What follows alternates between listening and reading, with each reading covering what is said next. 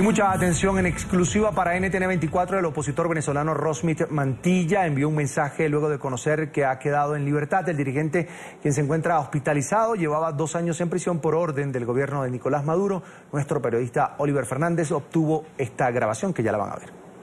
Bueno, Rosmi, para NTN 24, tus primeras palabras, ya firmaste tu boleta de libertad. Este, ¿Cómo te sientes primero que todo de salud? Bueno, lo primero que se me viene a la mente es la palabra compromiso. Compromiso con los venezolanos, compromiso con los presos políticos, compromiso con mis hermanos que están haciendo cola, que están sin medicina, que están en manos de la inseguridad. Compromiso con el cambio.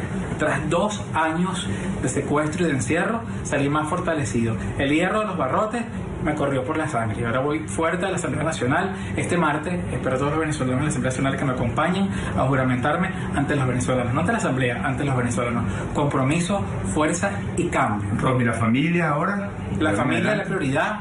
Voy a tomarme unas horas para estar con mi familia, con mis hermanos, con mi madre, con mis amigos, que son la base fundamental de mi vida. Y bueno, para adelante, para adelante y Venezuela primero que todo. Bueno, la primera palabra de Rosmi Mantilla para NTN 24. Muchísimas gracias, Rosmi, por atendernos.